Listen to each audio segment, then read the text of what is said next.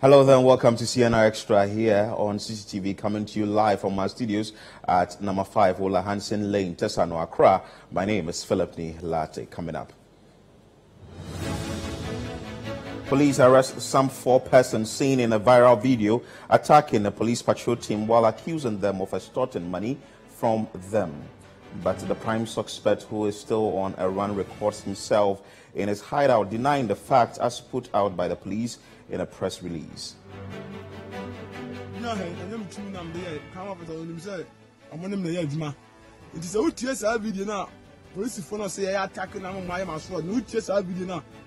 wotie no yɛbɛhu sɛ ɔmo bɛka sɛ ɔmo ne me na ɛyɛ adwuma sɛ wotie saa video no a polisifoɔ no sɛ yɛyɛ atake ne ne ɔmo kɔntɔkɔ na ɔpa kyɛw no polisifoɔ no ka kyerɛ sɛ ɔmo ne me ɛna ɛyɛ adwuma nti sɛ biribia ni a menya Stakeholders in the fishing industry react to former President John Dramani Mahama's campaign promise to exclude canoe and artisanal fishermen from the close season exercise. We have been walked through a lot of, you know, scientific reasons why we should manage the stocks. And as artisanal fishers, we have all come to a conclusion that indeed we must comply. I'm surprised this is coming up. But whatever it is, it is adding to the recovery of the stock. And patients seeking medical care at the Upper East Regional Hospital in Bolgatanga demand immediate suspension of sanitation fees charged by the facility. It's just very annoying because we are not aware. You know, you bring your your your, this, your child or your sick patient here, even the money is not even available, and you have to first of all you have to pay this amount before you can see doctor. I think it's not it's not it's not proper. Uh, Chief Justice Kwesi Yeboah admonishes judicial service workers to resist from harassing and extorting monies from persons seeking justice at the various courts across the country. Harassment in all forms, including the threats and extortion of money from persons who come to the court for redress, is the cruelest way to treat our own people. I urge the public to stand firm and refuse to yield to the unlawful demands of judicial officers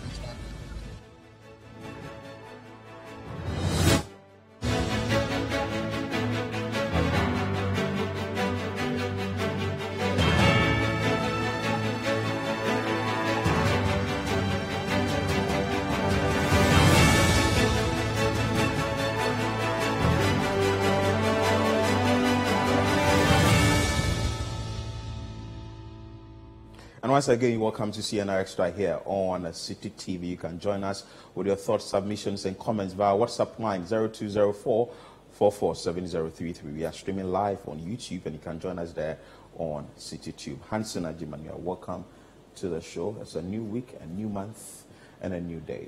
A blessed one. Uh, looking for the best. Uh, the month of April.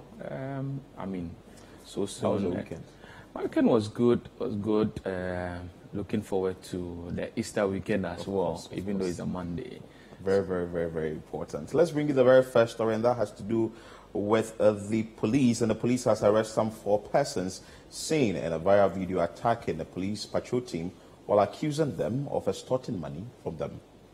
Let's start off with a story that has been trending on social media and indeed on traditional media. Now, the Ghana Police Service arrested four persons belonging to a gang that allegedly attacked some police officers of the Axim Divisional Police Patrol Team on March 9, 2023. The gang members are reported to have manhandled the police personnel and seized the magazine of a service rifle together with some mobile phones during the attack. An intelligence operation launched by the police has resulted in the arrest of the four suspects after three weeks on the run. The four suspects include Kojo Sla alias Mose, Emmanuel Mensah alias Kofi Asamoah, Maxwell Kujo, and Ajabu Haruna Desau. A statement by the Ghana Police Service on the arrest, which occurred on March 28, disclosed the research conducted at the residence of Kwame Atuasariani. The prime suspect, who is still on the run, led to the retrieval of three pump-action shotguns, one pump-action shotgun, two machetes, and eight BB, ri- ri- eight BB rifle cartridges uh, were retrieved from the suspect's unregistered Honda CRV vehicle. Other items retrieved from the suspect include two live refilled BB cartridges, and one unregistered motorbike. According to the police, the allegation of extortion against the officers has been referred to the Police Professional Standards Bureau, PFS, PPSP, for investigation. All the suspects in the reported attack on the patrol team who have been arrested have been put before the court and have since been remanded into police custody.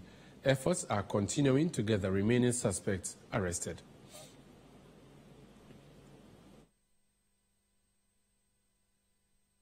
The alleged police attack and extortion in the Nzema East municipality of the Western Region, Kwame Ato Asareni, has released a video from his hideout stating that he is not a criminal as being perpetrated or stated by the police, but rather an informant of the service. megyina ha ɛnyɛ metumi nam de yɛ kram officer onim sɛ ɔmo nem na ɛyɛ adwuma nti sɛ wotie saa video no a polisifoɔ no sɛ yɛyɛ atake na mo ayɛ maso no wotie saa video no a wotie no yɛbɛhu sɛ ɔmo bɛka sɛ ɔmo nem na ɛyɛ adwuma sɛ wotie saa video no a polisifoɔ no sɛ yɛyɛ atake no ne ɔmo kɔntɔkɔ na ɔpa kyɛw ɛna ɛyɛ adwuma nti sɛ biribia ne a menya abɔtrɛ. Sɛ polisi ne no wɔn maa mi tu a deɛ nta ɔka kyerɛ sɛ ɔmo nem na ɛyɛ adwuma. Mɛmɛ nyɛ polisi ne mɛ nhyɛ polisi atare o. Nso di ntan wo polisi waba bush yama o sika. Na afei ɔɔpa kyɛw sɛ wɔn yɛ na ɛyɛ adwuma no. Deɛ na ɔɔpa kyɛw nyia ne tuo na yɛtu ne to no na osuro. Ɛno ti na ɔka saa. Hɛɛ. Ti sɛ ɔwɔ ka sɛ ɛyɛ rɔbin rɔbin ɛnyɛ rɔbin nko wie obiara deɛ obiara ni obetumi afrɛ nso ɔmo na na ɔmo bɛyi n'ano sɛ mímá kɔ wia wei anaa mímá kɔ akɔfa wei akɔfa sisi obi ba na ɔtumi ka sɛ yɛ bɛ bɛ rɔbin na de tu abɛsi ne so agye ne bi sese a. Mɛ faami mɛ de me ho bɛba. Na deɛ ɔmpɛ sɛ ɔmo yɛ bi ɔmo de ayɛ no. Na beebi nso ɔmo bɛfrɛ mi sɛ mímá bɛyi ma no mɛ mɛba bɛyi ma no kɔs mi mi mu ɔkorɔ no da ɛna mi mi obiara deɛ yɛnyɛ kɔnfɔ yɛnyɛ hwee. Polisifoɔ no na ɔmo kireti polo ato sɛ yɛyi etuo no polo a yɛkita saa sɛ fɔɔ no ɛnyɛ yɛ dea polisi fo nim sɛ dwene jiji wɔ sat ɛnti sɛ obi a bɛtwa kasɛ yɛ abɛ wrɔbo na bɛbɛwia no bi no. Sɛ mo tumi kyerɛ saa nipa ko sɛ yɛbɛwia wei ɛyi tɔ ɛkyerɛ sɛ bɛbɛgye wei a mɛ mɛtumi de me. Ho ayɛdɛn aba e ɛsika sɛ mea me nie ɛna ebi mɛ fɛm sɛ mɛmla mbɛyi ma no so mɛba bɛyi ma no. Because mɛ megyina mɛ ne obi ɛtɔn tuo polisi na ka kyɛ sɛ ɔmo ne mbɛyɛ adwuma. Sɛdeɛ mɛmɛ ni so yɛ den a me ho aban ghana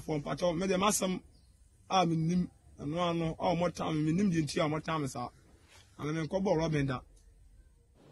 So Kwame Ato Asari Enin, who we just saw speaking uh, in, in your short, has indicated that is willing to speak the truth when it comes to this issue, but any form of attack on a police officer is not accepted. But then again, investigations has commenced into this particular issue. But I think um, from what he is saying, he, he's, he's saying that he, he works directly with the police, and if anything at all, he, he's, he's ready to tell exactly what happened in that bush.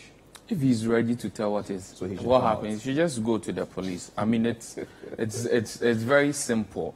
There are allegations, and these are serious allegations for for these persons to make because they've been arrested for the police for engaging in certain acts, which include alleged robbery, and then they are counter accusing the police of working with them, and for that matter, giving them guns, even those guns that they use.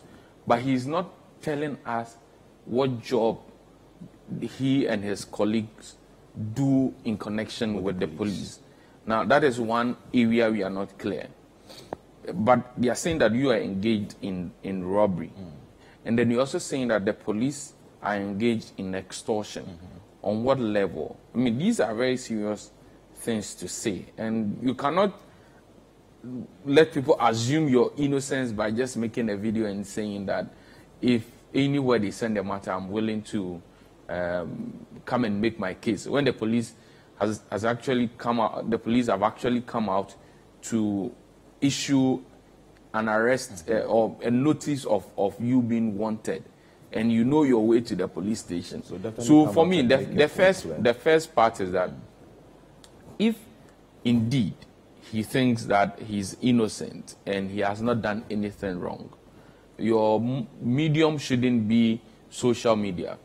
Go to the police and sort it out. The second thing has to do with how the police will have to handle this. Because this feeds into a certain narrative that exists already. I mean, how many times haven't you heard people raise suspicions of the police sometimes working in connection with armed robbers? How times haven't you heard people suspecting that some armed robbers have guns because police officers give them those guns? Mm. How many times haven't we seen news items of people being arrested holding guns and those guns linked to, to some police officers. to some police officers. And so if we are to build a trust in the police institution, how we deal with this is very important. Mm.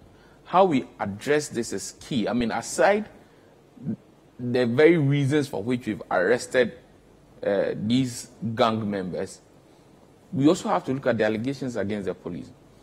And I don't think it should be an either or situation. We shouldn't be looking at exonerating the police and then putting some people in jail. Or it shouldn't be that these people have to go to jail and then the police will be free, or the police will be dealt with and these people will be free. We should look at it holistically and address the issue. And if indeed these are allegations, frivolous allegations that they are making against the police, aside whatever they've done, they should be dealt with appropriately because you are smearing the image of the Ghana Police Service, the single most important institution that maintains order in society. Now, we know on the part of the allegations against the police, the Police Professional Standard Bureau has been uh, given the directive to investigate. I mean, when we talk about the police uh, professional standard bureau, a lot of people have their own uh, views about them on that on, uh, on that institution and as to whether it actually carries out uh, professional and independent impartial work when it comes to investigating one of their own. I mean, we can make the argument that we need an independent body aside the police to be a check on them. But at this point in time, I don't think that that argument will be one that will resolve the situation that we are in. So this can only be a charge to the, uh, the General Police Professional Standards Bureau that this is an opportunity to, if indeed the existence of that institution is still relevant and is able to do things impartially to go through the entire process and let's see if their officers did anything wrong. Wrong. And let's establish that perhaps this is a single incident and do not affect the entire police. And I'm hitting on this because we don't want a situation where the confidence that people have in the police would dwindle more. With these accusations, what if you make these accusations fly? What you're telling the Ghanaian is that even the armed robber that you are afraid of, a police officer who you should call to come and rescue you is supporting that person. And over the past years, we've seen how violent crimes have increased. The small arms commission, at some point in time, have complained about the, the proliferation of, of arms. arms in the system, and to a large extent, cannot even account for how some people get to hold certain arms. I mean, we don't want to get to the, the, the, the likes of America, where gun violence is uncontrollable. Okay. And how best we handle some of these issues will tell how well we, we solve the matter entirely. Exactly. So the investigations have to go down well, and uh, everybody involved in this issue, uh, well, have to be unraveled so that we'll see whether it's the gangmen who are speaking the truth or the police officers are also saying their side of the story. I went from this story, and the Chief Justice, Kwesi Anin is admonishing judicial service workers to desist from harassing and extorting money from persons seeking justice. Staff have been admonished to desist from extorting money from court clients and also harassing persons seeking justice from the judiciary. They've also been charged to work diligently and also exhibit high levels of professionalism in the discharge of their duties to engineer confidence in the courts. Chief Justice Anin Yeboah gave the advice when he commissioned a new High Court complex in Kasoa in the Central Region. Our correspondent there is Calvis Tete. The newly constructed Kasoa High Court, located at Opako in the Awutu East municipality of the Central Region, is expected to save court clients from long distance travels either to Agona Swedru or Winneba to access court services clients were mostly confronted with huge transport costs and the inconvenience of long travels, a situation that mostly demotivates them from using the court as a means of settlement. Commissioning the Kasoa High Court, which has come to add up to the already existing district and magistrate courts in the enclave, Justice Kwesi Yeboah, the Chief Justice of Ghana, emphasized the need for befitting courthouses and expressed optimism that the new project will help in offloading work on the Winneba and Swedru High Courts and ensure fast delivery of justice. He announced that the Kasoa District Court will later this year be retooled to serve as a child-friendly gender-based court to handle domestic violence cases, which is on the rise in the enclave. The Chief Justice, however, admonished court staff to be diligent and professional in the discharge of their duties. He described as cruel all acts of harassment, threats, and extortion of monies from court clients Justice Anin Yeboah, however, encouraged the public to stand firm and refuse to yield to unlawful demands from judicial service staff. He further encouraged the public to report such conduct for perpetrators to be dealt with by the Judicial Council. Urge court users and the bar to fully patronize the court-connected alternative dispute resolution services, in respect of which mediators are trained and attached to the courts from time to time, as compared to formal litigation or courtroom trials the alternative dispute resolution has proven to be speedier, cheaper, and less aggressive and adversarial. Arguably, a new a newly constructed courthouse will not be of much use if the administrative staff do not effectively assist the judge to function productively. To this end, I urge the staff in this court to exhibit a high sense of professionalism in the discharge of their duties. I would like to remind them that most clients who patronize our service are often physically and emotionally distressed. They need comfort and help as they turn to the courts for justice. Harassment in all forms, including the threats and extortion of money from persons who come to the court for redress, is the cruelest way to treat our own people. I urge the public to stand firm and refuse to yield to the unlawful demands of judicial officers and staff. Do not be afraid to report such people for appropriate disciplinary action to be taken against them. I can assure you that the Judicial Council, which I chair, will not shield any judicial officer or staff found to have been guilty of misconduct.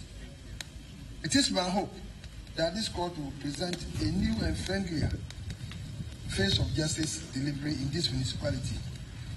On her part, Anita Love Oboemisa, Awutu Senya East MCE, while underscoring the vital need for conflict resolution, expressed belief that the court would help cater for the judicial needs of residents of the area. She says the assembly is inspired by the Local Government Act, which mandates them to provide ready access to courts for the promotion of justice.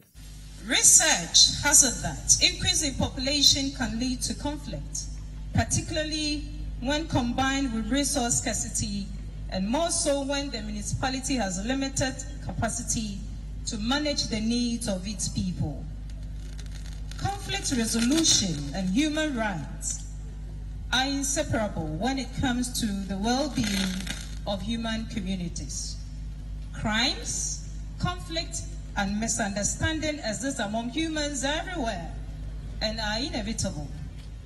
Section 2, subsection 3b of the Local Governance Act 2016, Act 936, as amended, mandates district assemblies to ensure ready access to court in the district for the promotion of justice. A very important message coming from the Chief Justice, and he says that, well, don't yield to these things if you are seeking for legal redress or some legal uh, justice in the courts because uh, the judicial service workers are not supposed to extort any money or they are not supposed to harass individuals coming in. I think it's a very important one because everybody, in one way or the other, you would want to seek for justice in a particular case that maybe is bothering you. It has to be maybe land, it has to be uh, issues about divorce, issues, anything at all. The person would want to go to the, the court to seek some justice. There's, there's, there's one thing that we need to understand here that if you look at how justice system works, I mean, from the superior courts, mm. uh, that's from your Supreme Court, your Court of Appeal, your High Court, and then to your lower courts, district court. I mean, how efficient they run is judiciary. Usually, those we know are the judges, and then to an extent, the lawyers who are officers of the court. But there are a number of uh, workers who operate to make sure that everything that you would do in making sure that you get justice uh, becomes possible. Mm. Now, if you look at how our justice system is, the substance of your case is equally important as the procedure. Mm-hmm. So you see a senior lawyer will go to court and an entire case will be quashed because he missed a procedure. Now, going through this procedure appropriately is to take it through the staff of the judicial service who will help you go through the procedure. Procedure successfully. Yes, and sometimes if you speak to the lawyers, mm-hmm. because the judicial service staff, they've been there for a number of years, for some decades they understand the procedure just like that. It's, it's like you come to work, you know, I move from here, I go here. Mm-hmm. So they understand it. And then there are sometimes, you know, egos come to play. So even sometimes the staff will have to explain the procedure better to the lawyer mm-hmm. for the lawyer to understand how he should go about things about things so that his or her case will not be thrown out just for the sake of procedure now that tells you how important they are. And if I've created the scenario that even lawyers who have gone through LLB, gone to Makola, have been called, done their people, at a point in time, will have to depend on the knowledge of the judicial service. Then it tells you how more the ordinary Ghanaian who will be going there for certain uh, actions will need the judicial service more the staff of the judicial service more. And so, in, in an unregulated mm-hmm. or unmonitored and unchecked environment, if you leave these people alone with that level of knowledge power, it could lead to extortion. But one may ask that I want a case done very fast. Mm-hmm. I want the procedures done very well and I may have to, in a way, grease someone's palm to get things done very fast. What is going to be put in place? What are the checks and balances to ensure that I don't face that particular challenge by not halting the process, halting at a point because I didn't grease someone's palm. I didn't give the person whatever he or she deserves for the person to now move the procedure from one stage to the other. Well, I mean, this is a is a bigger conversation from the judiciary. Mm. I mean We've heard of these issues when you go to the passport office, you go to the birth and death registry, you go to the DVLA, that they are goro boys mm-hmm. in a way that if you want to do certain things. So I cannot sit here and say that such uh, blocks do not exist in the judiciary where some people have made it their own job to benefit from the system. But what I can say is that the call by the Chief Justice is essential to make sure that because the judicial service staff have their own code of ethics that they have to go in line with. And the very first point about the code of office Just a brief one, is abuse of position. Mm. And the abuse of position highlights a number of things, including extortion mm-hmm. and even taking gifts to influence how you do things. But all I'm saying is that this call is very essential. Very. And also to the registrars of the various courts and even to the Chief Justice. The system should be streamlined in such a way that you can indeed actually uh, prevent some of these extortions. Because if you make it go that way, then it will affect and hinder justice delivery. Well, very important. And even the Chief Justice made mention of the fact that, well, if you are uh, seeking for justice and this is what is happening, you are at liberty to report to the powers that be. Away from that story, and patients seeking medical health uh, to the Upper East Regional Hospital are demanding immediate suspension of sanitation fees charged by the hospital. Move to the Upper East Regional, where patients seeking medical care at the Upper East Regional Hospital in Bolga are demanding the immediate suspension of sanitation fees charged by the hospital before allowing them see a doctor for diagnosis. Patients say the move by the hospital impedes access to health care, especially for the poor and needy. The Upper East Regional Hospital in the past days has been demanding of patients to pay sanitation fee as part of payments when one is seeking medical attention. According to management of the hospital, the sanitation levy on patients is as a result of delays by the National Health Insurance Scheme in reimbursing the facility to enable efficient operations. But patients who had come to access healthcare at the facility described the sanitation fee being charged as illegal and an attempt to extort monies from them.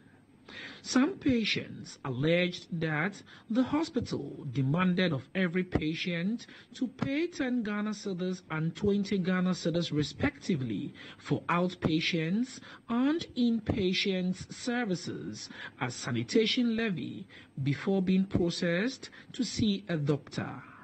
Speaking to City News, some patients said the levy imposed on them is an impediment to quality healthcare delivery and thus called for an immediate suspension.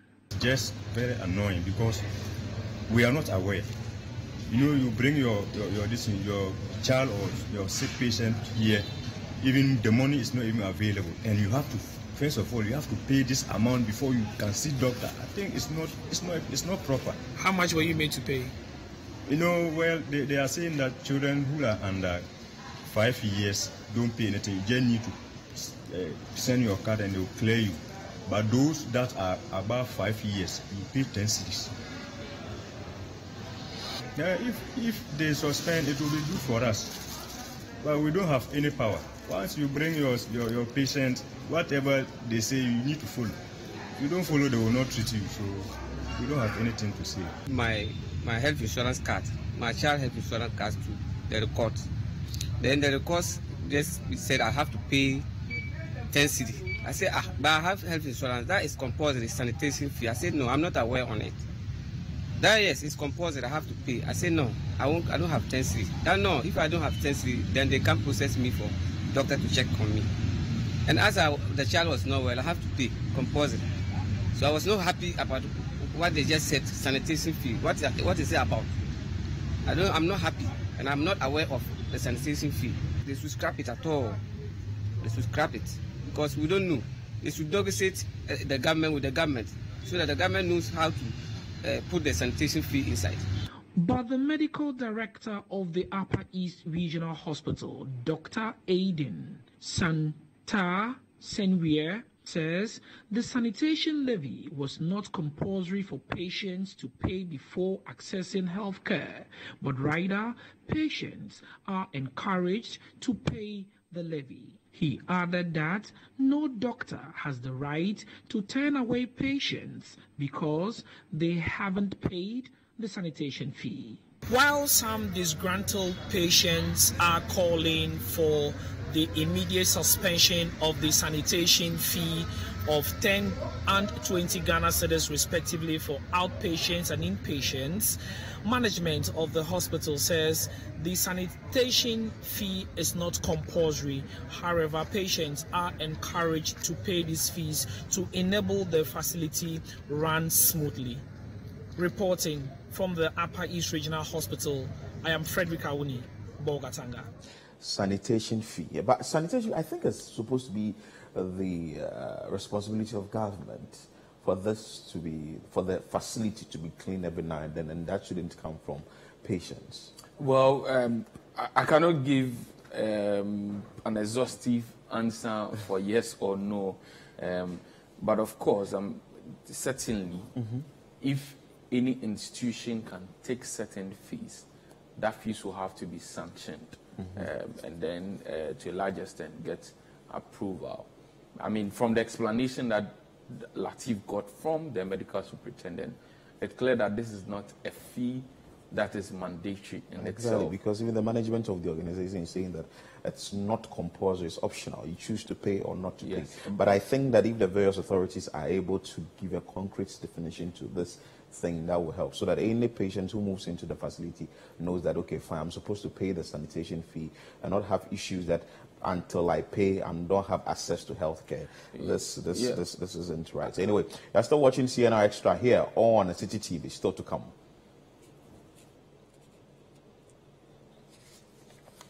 Stakeholders in the fishing industry react to former President John Dramani Mahama's campaign promise to exclude canoe and artisanal fishermen from the close season exercise.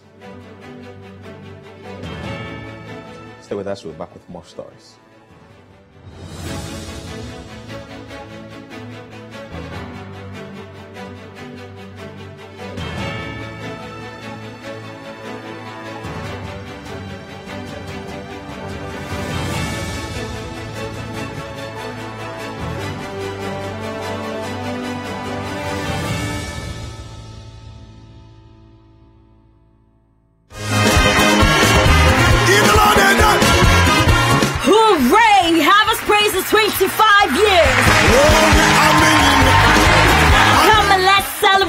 25 years of sharing his story and his praise. Ministering at the Silver Jubilee edition is praise and worship legend Don Moen. God is good all the time. The young, sensational, and anointed minstrel Moses Bliss. Miracle no Jesus. And the host choir, the Evergreen Harvest Gospel Choir.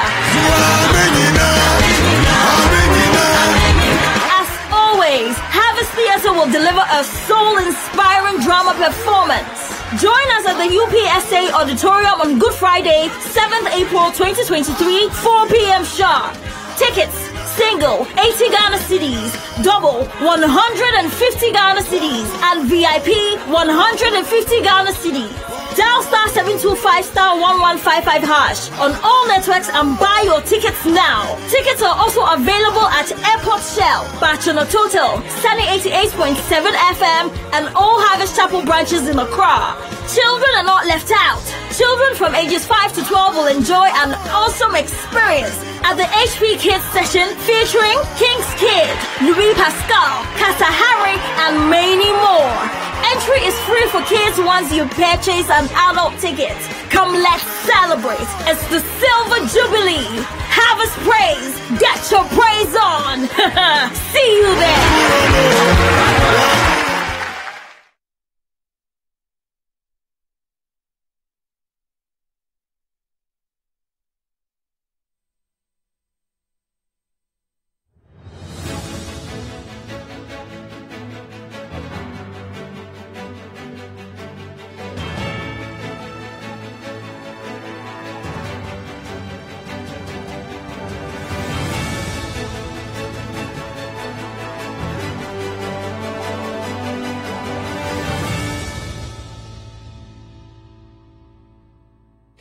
Welcome back. This is CNR Extra here on Citi TV. You can join us with your thoughts, submissions, and comments via WhatsApp line 0204 70433. And uh, this is what we've been discussing so far on uh, the show from uh, the Upper East region. We have, have stories on the Ghana Police Service and also from the Judicial Service. Let's now take you to the Ashanti region where government and various agencies have been urged to involve Ghanaian professionals in uh, the award of contracts such as the new Kejetia market.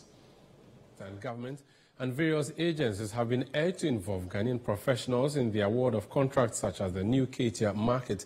This comes after fire engulfed the facility, destroying items running into millions of cedis. According to an architect, Dennis Kwame Domfe, who is also a lecturer at the Kwame Nkrumah University of Science and Technology, involving Ghanaian professionals with a better knowledge of the topics could be developed, could help develop facilities that can better withstand various challenges such as the recent fire at Kejetia. There's more in this report by Citi News' Bureau Chief for the Middle Belt, Edward Opomafo. Victims of the recent New Kejetia market fire are yet to get over the incident. So far, the government has set up a five-member committee to look into the fire outbreak. It is not clear when the reconstruction of the affected parts would be done. This has caused anxiety among the affected traders who say their source of livelihood has virtually been cut off while this incident has gotten a public commenting.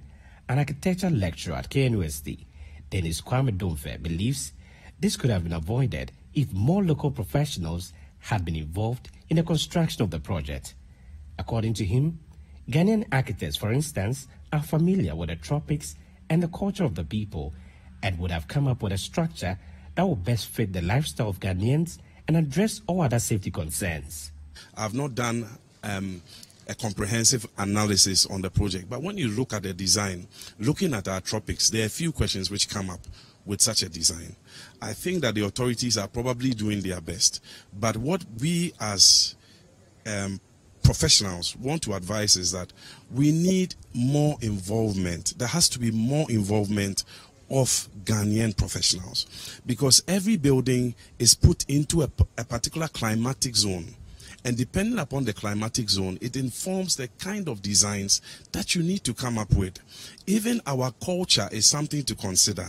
Our way of selling is something to consider. So when you build a market like that, you know that we like selling on, on, on the ground or we do a lot of impulse buying. You and I buy a lot of impulse. That's why we cannot send hawkers away because we do a lot of impulse buying. So can we come up with innovative plans such that even as we design our routes, can we have innovative stores for people where, for example, if you visit Oxford Street in London, okay, on certain days on the weekend, major roads are closed and it's a market. On certain days it's opened and it's accepted can we involve our professionals more so that when we come up with such designs, it is more climatic specific okay so that when such things happen they can be mitigated. Can we train our people a bit more? He also wants the committee probing the incident to come up with findings that will best address the identified challenges. The committee will do a lot more in-depth analysis, exactly what started the fire and all of that. But we heard that it was at an area where there was carbide, there was a bit of um, turpentine, a number of things. So these are very inflammable materials, obviously. So maybe there, there, a lot more should have been done. I will not want to preempt the committee. I know they'll do. There are a lot of astute people, obviously, on the committee. They'll do a bit more. But I think that moving forward, these are some of the things that we need to look at. When we have a design which is done, everything begins with a design. Before it's built, I tell my clients it's easier to change on paper than to change on site. Let's make all the changes on paper before we build. For Citi News, I'm Edward upon Marfo, New Kejetia Markets, Kumasi.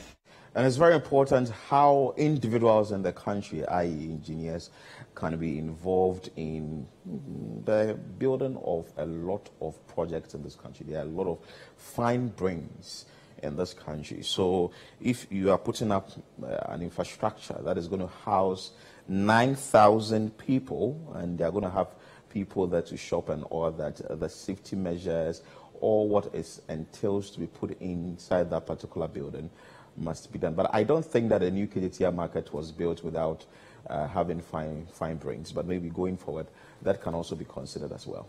Yes, and I think that the, the bigger issue has to do with is whether um, locals involved or not, they're trying as much as possible to understand how the project will fit into the lifestyle of the people. I mean, the new Kejetia market is one of the biggest infrastructure projects you have in the, in the, in the country.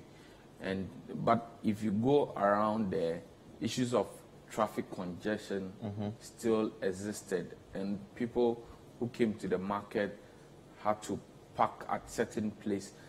A number of, of, of issues that had even been raised prior to this fire incident. I mean, this is not in any way to suggest that the people who uh, constructed the new Kejetia market did anything untoward. I mean, even the experts who spoke there Mhm.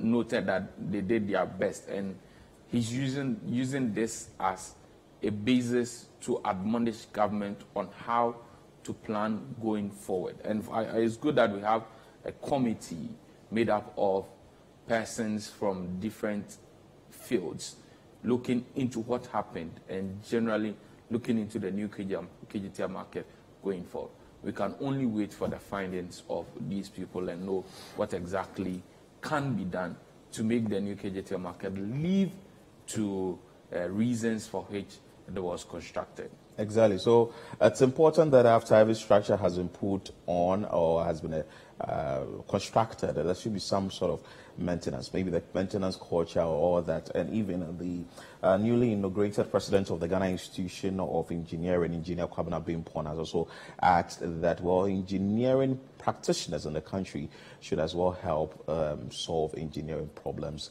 in this country. Away from that, and let's bring you that story uh, that is from the fishing community, where President, uh, former President John Dramani Mahama has stated that he's going to exclude canoe and artisanal fisher folk uh, in the closed season exercise. There's a reaction to that from the fishing community. Let's bring you that insight.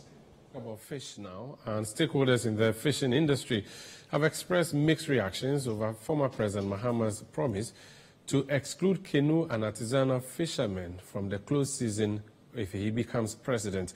According to Mr. Mahama, the activities of the groups of fishermen do not play a role in the issue of dwindling fish stock in the country. He said closed season will be for only trawlers. But as some fisher folk believe the move is a step in the right direction, others think otherwise. There's more in this report by Citi News' Philip Nii Lartey. close season no yɛbɛ close ama fishing trawlers akɛseɛ no canoe fishermen ne artisanal fishermen. A wɔn yi so hiama. Ne small canoes it will not be closed for them.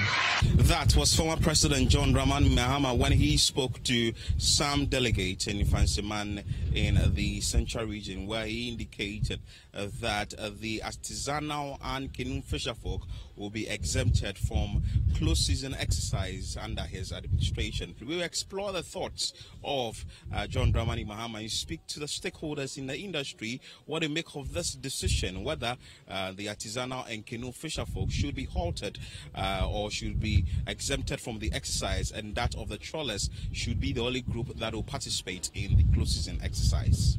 We have, have to exempt from yes, he has to exempt us from this closing season. The government have to do something about that. We've been talking about it for a long time.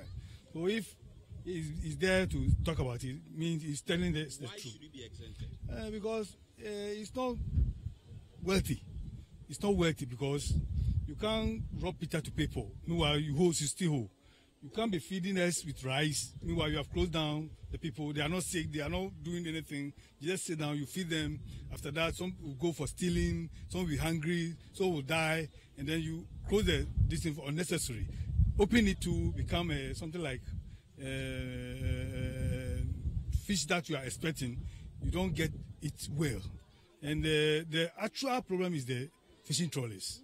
Lightning fishermen are going the lightning fishing still. Nothing at all has been done about it.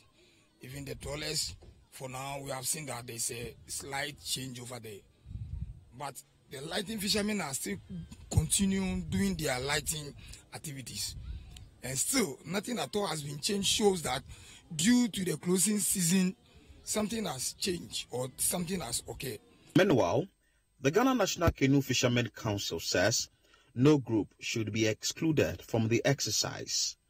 According to the acting president of the Ghana National Canoe Fishermen Council, Nana Jojo Solomon, the move will help address the issue of dwindling fish stock. Where we've gotten to with our stocks is about management, managing the resource.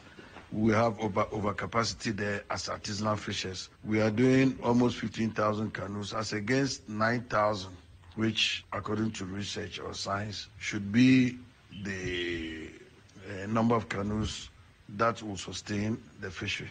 And therefore, for me, we, we have we have they, we have been walked through a lot of you know, scientific reasons why we should manage the stocks. And as artisanal fishers, we have all come to a conclusion that indeed we must comply. I'm surprised this is coming up. But whatever it is, it is adding to the recovery of the stocks. So, and we cannot blame the industrial trawlers alone because we are also a part. We are doing night fishing, we are doing undersized meshes, we are doing dynamite chemical fishing, we are doing so many things that are untoward, and that has contributed to the collapse. We cannot blame just one sector of the you know industry.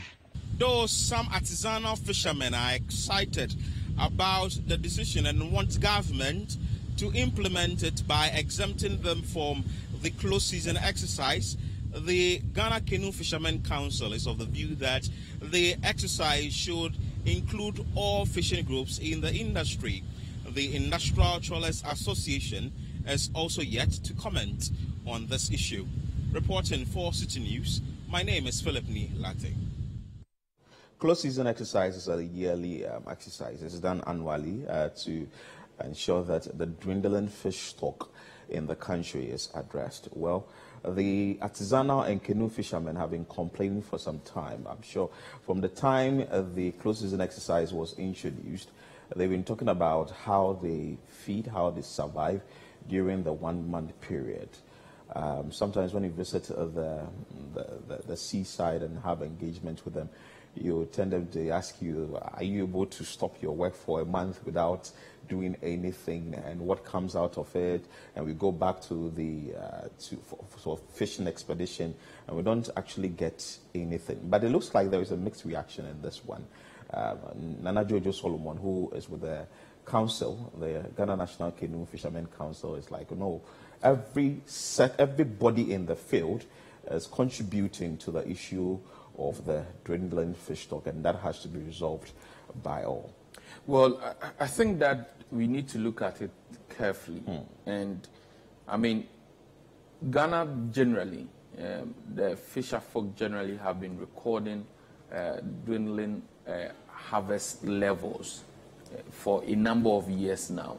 And even when we run a system of subsidized premix fuel, what this means is that anybody who is fishing mm. in Ghana, I mean, until just recently that the subsidy had been taken off, for a very long time, these people were not operating at the full cost of production. Government was taking part of the cost of production.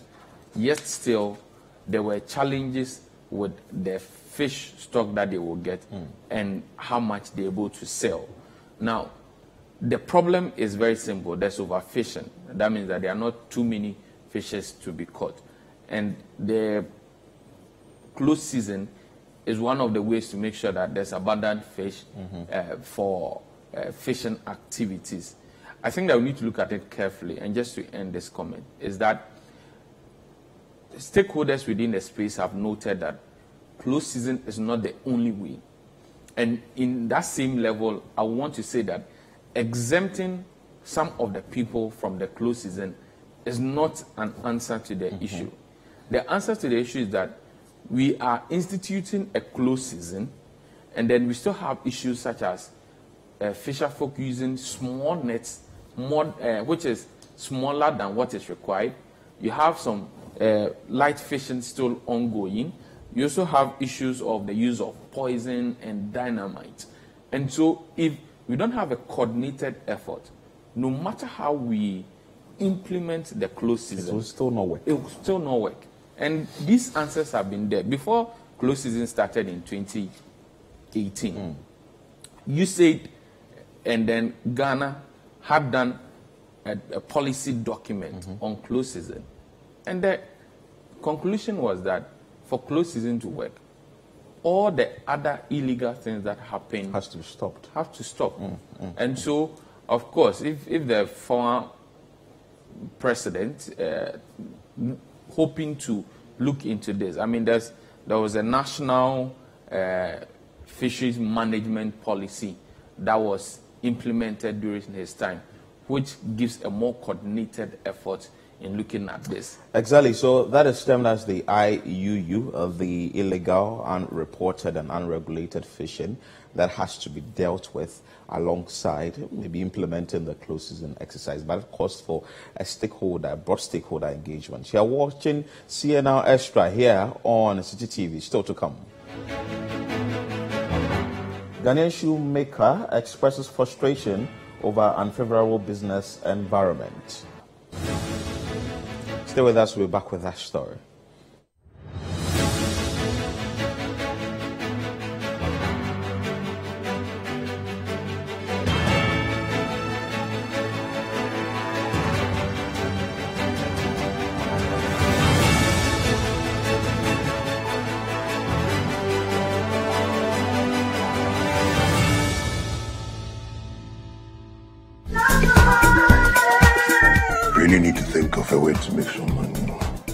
Church.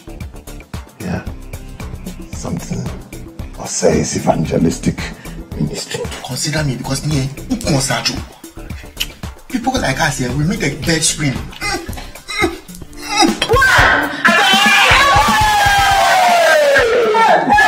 What is this? What is it? You I'm traumatized. There are men and there are men. What song is that? Oh, gospel. Like all men are men. Jesus is the man. It's only 20 minutes past 10.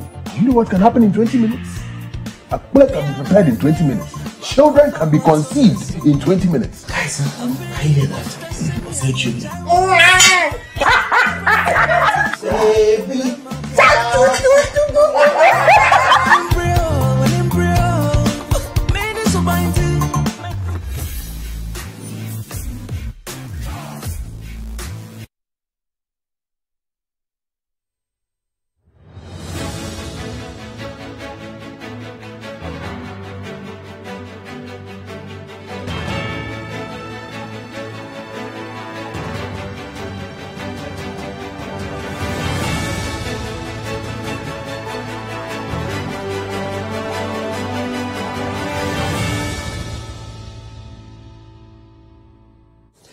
welcome back. Let's bring you this story where a Ghanaian shoemaker is expressing frustration about unfavorable business environment.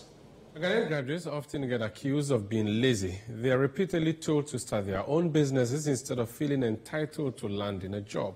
Entrepreneurship is a buzzword trumpeted in the ears of young graduates, with political actors promising to create the necessary environment for the young graduates to thrive. But what is the reality on the ground for young graduates who decide to start their own businesses? Caleb Kudah has been exploring that story. I would be biased towards female entrepreneurs in this report. Don't be offended. After all, U.S. Vice President Kamala Harris, during her visit here last week, campaigned for women entrepreneurs. Women are entrepreneurs, yet have limited access to capital and markets. And there are many factors that impact a woman's ability to survive and thrive. One of those is economic empowerment. And when we lift up the economic status of a woman, let's be clear. We lift up the economic status of her children, her family, her community, the entire economy benefits. So now, meet my case study for female graduate startup owners. So my name is Akusia Sichajukum. I'm a chemical engineer by training. Um, I went to Holy Child, did general science. Then I moved to KNUST to do chemical engineering. Akusia is one of 90% of Ghanaian graduates who struggle to get employment after national service, as shown by research. I had the opportunity to work, um, to do my national service at Ghana National Petroleum Corporation. Um, so I was trained as a petroleum engineer. I had the opportunity to work offshore, the FPSOs for a while, and then I branched into shoemaking. I tried to get a job, but actually, searching for a job in this country is a full-time job. I gave up after a while, and then just decided to concentrate on learning the skill, the, the shoemaking skill. I met her while she worked on some products for her clients. If I hadn't seen her make them, I would have thought these were made in footwear destinations in the West that many Ghanaians boast of owning. Akusia should be proud of herself, But she tells me sometimes she regrets taking this path given that the system here in Ghana is crushing. The system will stifle you. The system is set up to, it's like, it's to make you feel. So if you, in true, we have a word called transfer. If you are not determined that I'm not going to fail, or even though we fail every day, I'm not going to back out or end it or close down my business, as has happened to a lot of businesses in the past year. You close your shop one day and never come back. What exactly in the system is crushing businesses? The founder of footwear fashion brand Nuisa Shoes tells me more. I know for sure that in every tertiary institution, entrepreneurship has been taught as one of the subjects there. So government should as well create conducive environment for us to practicalize what we've been taught in school. Yes, Isn't that so? I mean, it's it's it's it's it's very clear that if you want people to be engaged in entrepreneurship and certain things should exist and you have a friend who is engaged in his or her own business. I equally do have a number of friends who are engaged in their own businesses. And if you speak to them, they tell you about issues about rent, mm-hmm. issues about yeah. cost of electricity. I think you did a story on that. Yes, I spoke yeah, to. where you spoke to some um, I spoke to, people who have um, completed yes. school and all that, graduated. he, run, he runs yeah. Giddens Fashion now. Mm-hmm. He does shoes, does bags, and young guy doing very well.